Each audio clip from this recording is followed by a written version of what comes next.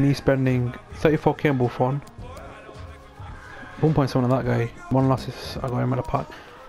6.2 on 83 at centre back. 7.9k on an 83 left back.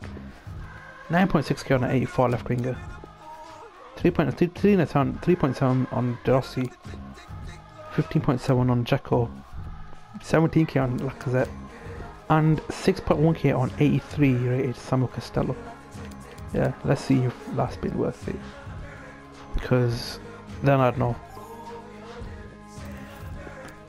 Right, let's have a look at what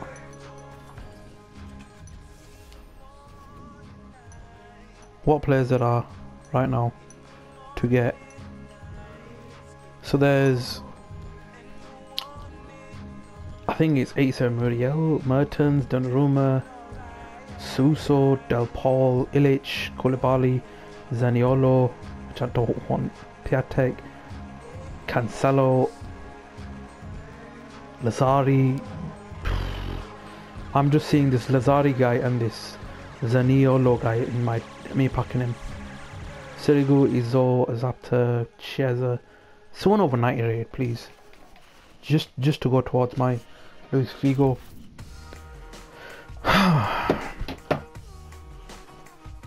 Obviously a walkout without doubt, unlike that Super League one or the whatever that other SBC was at one time.